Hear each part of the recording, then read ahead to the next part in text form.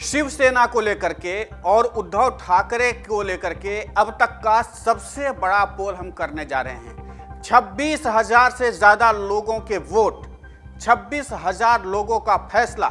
और हम बताने जा रहे हैं आपको कि शिवसेना को क्या आखिर में उद्धव ठाकरे बचा पाएँगे? ये सबसे बड़ा सवाल। क्या शिवसेना को उद्धव ठाकरे बचा पाएँगे? इस सवाल के साथ हम छब्बीस हज़ार से ज़्यादा लोगों तक संपर्क किया ऑनलाइन पोल के ज़रिए और उन लोगों ने वोट किया इस पर और उन्होंने बताया कि हाँ उद्धव ठाकरे शिवसेना को बचा पाएँगे।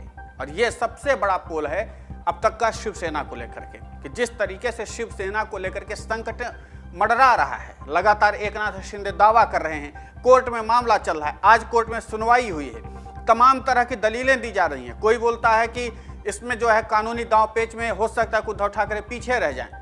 लेकिन इन सब के बावजूद अभी भी भारी संख्या में लोगों का कहना है कि हाँ उद्धव ठाकरे शिवसेना को बचा पाएँगे। क्यों कहते हैं ये लोग?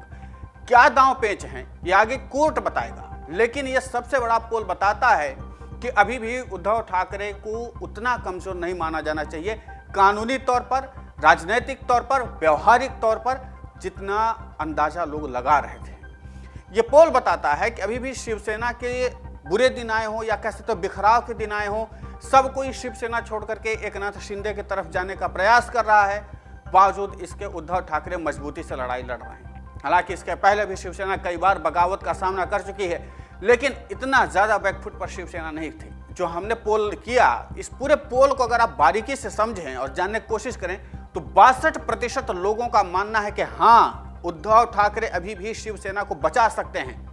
जबकि 38 प्रतिशत लोगों का मानना है कि नहीं, उद्धव ठाकरे शिवसेना को नहीं बचा पाएँगे। ये अपने आप में सबसे बड़ा, सबसे चौंकाने वाला पोल है। ये पोल इसलिए चौंकाने वाला है क्योंकि माना यह जा रहा था कि उद्धव ठाकरे कानूनी तौर पर कमज़ोर पड़ जाएँगे, क्योंकि भारी संख्या में विधायक हों, सांसद हों कॉरपोरेटर हों, पार्षद हों, यहाँ तक कि कुछ कुछ तो कार्यकर्ता, कई जगहों से जिला स्तर के कार्यकर्ता भी एक नाथ शिंदे के करीब जा रहे हैं। लेकिन बावजूद इसके अभी भी उद्धव ठाकरे अपना आखिरी दांव चल रहे हैं, हर वो कोशिश कर रहे हैं। अब निष्ठा यात्रा चला रहे हैं, उनके बेटे जो हैं, आदित्य ठाकरे, महाराष्ट्र के कई बड़े शहरों में निष्ठा यात्रा चला रहे हैं और दिखाने की कोशिश कर रहे हैं, जनाधार दिखाने की कोशिश कर रहे हैं कि अभी भी शिवसेना का कार्यकर्ता वर्ग उनके साथ है।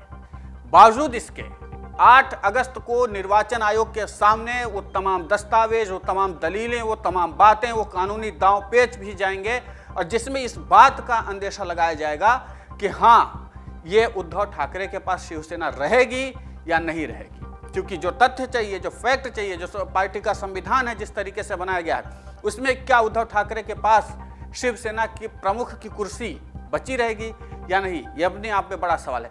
इन तमाम प्रश्नों को टटोला जाएगा, इन तमाम तथ्यों को देखा जाएगा। बावजूद इसके हमने सबसे बड़े पोल में बताने की कोशिश की है कि अभी भी उद्धव ठाकरे के पास कई ऐसे मौके और दांव पेच हैं जिसके ज़रिए वो स्थितियों को सुधार सकते हैं। वो अभी भी शिवसेना को पटरी पर ला सकते हैं। लेकिन आगे की रणनीति क्या होगी?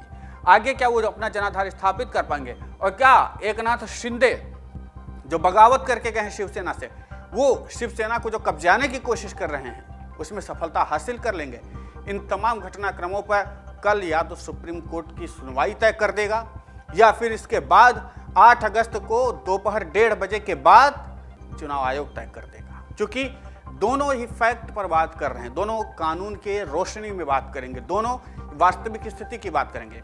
कानून किसके साथ है? व्यवस्था किसके साथ है? पार्टी का संविधान क्या है? ये जो तमाम आर्टिकल्स दिए गए, इन तमाम आर्टिकल्स के ज़रिए पार्टी से बगावत करने वाले व्यक्ति को क्या ऐसा है कि जो संविधान से उसको ताकत मिल जाए और वो शिवसेना प्रमुख या पार्टी प्रमुख की ज़िम्मेदारी संभाल सके। इन तमाम तथ्यों को खंगाला जाएगा। इस पूरे घटनाक्रम इस पूरे पोल को लेकर के आपका क्या कहना है हमें कमेंट करके ज़रूर बताएँ। नमस्कार। डाउनलोड करें अमर उजाला ऐप और पाएँ खबरें लगातार।